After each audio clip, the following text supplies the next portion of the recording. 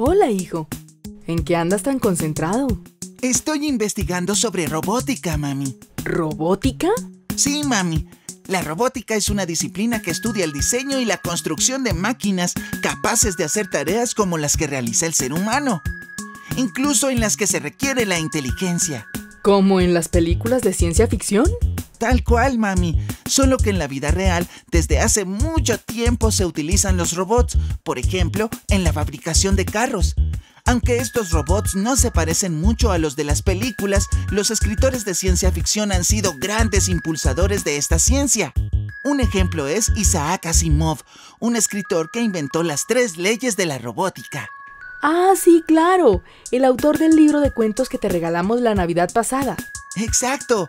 Después estuve investigando por internet y encontré muchísima más información. Por ejemplo, mira esta página. Bueno, Felipe, pues como veo que el tema te interesa en serio, voy a buscar qué opciones hay para que tomes un curso en ese tema. Uy, mami, eso sería buenísimo. Mira, hijo, en esta página hay información sobre talleres de robótica para niños. Eso se ve muy chévere. También encontré un evento muy interesante sobre tecnología. Se llama Campus Party. ¿Qué dices? ¿Te gustaría ir al del próximo año? Claro que sí, mami.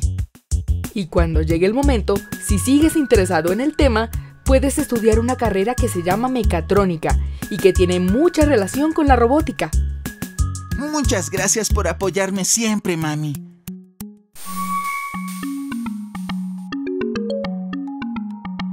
Inspírate conociendo muchas cosas más.